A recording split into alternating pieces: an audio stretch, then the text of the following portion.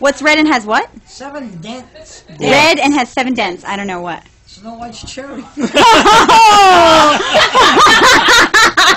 That's a new one. Tell us another one. I don't get it. Neither did she. Neither did she. Dustin, about that.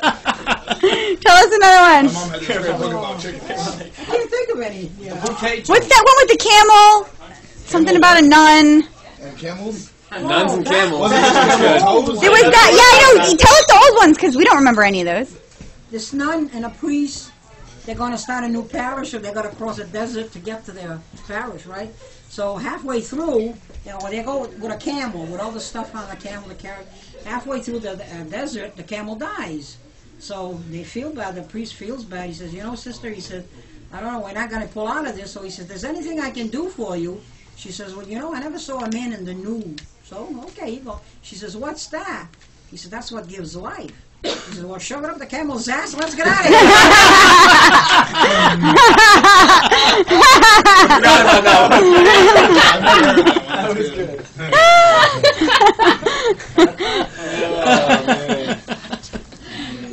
Tell us another one. I want more.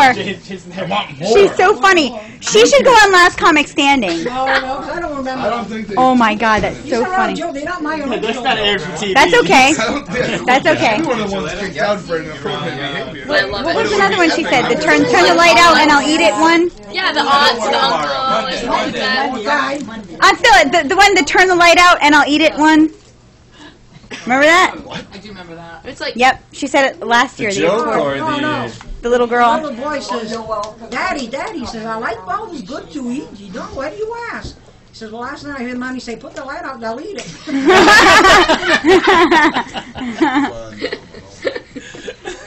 That's just good comedy.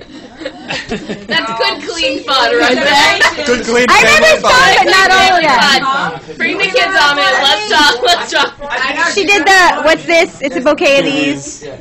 I, I think Stella should be on a Lost Comics. That's what she just Last said. comic sitting.